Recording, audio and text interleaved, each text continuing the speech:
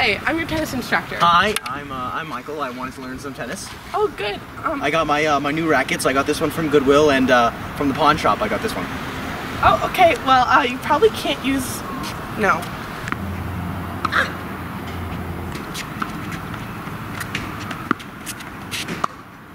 Man, this is nothing like Wii tennis.